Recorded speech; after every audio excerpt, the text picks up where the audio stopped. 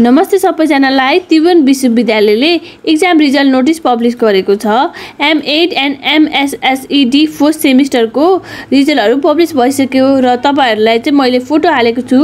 Photo post पनि गरेको छु। मेरो प्रोफाइलमा गएर हेर्नु होला तपाईँहरूलाई फोटो थ्रु हेर्न मन लाग्छ भने त्यही थ्रु तपाईँ हेर्न सक्नुहुन्छ र भिडियो थ्रु नै तपाईँहरूलाई सजिलो लाग्छ भने यो भिडियोमा पोस्ट गरेको छु त्यसमा पनि हेर्न सक्नुहुन्छ। र ज जसले हेर्नु भएको छ उहाँहरूलाई चाहिँ बेस्ट अफ लक भन्न चाहन्छु। र ज जसले हेर्नु भइसक्यो उहाँहरूलाई चाहिँ कङ्ग्रेचुलेसन भन्न चाहन्छु। र कोही कसको चाहिँ यहाँनिर सिम्बल नम्बर छैन भने चाहिँ अर्कोचोटि राम्रोसँग ट्राई गर्नु भन्न चाहन्छु है। यदि तपाईँहरूले चाहिँ ट्राई गर्नु भएको छ इक्जाम राम्रो भएको छ त्यही पनि तपाईँको सिम्बल नम्बर आएको छैन भने चाहिँ रिटोलिङ रिटोटल लिङ्कको लागि दिनु होला भन्न चाहन्छु र तपाईँहरूको लागि तपाईँहरूको माझ मैले यो नोटिस पुऱ्याउनुको लागि मैले यो भिडियो बनाएको हो। Thank you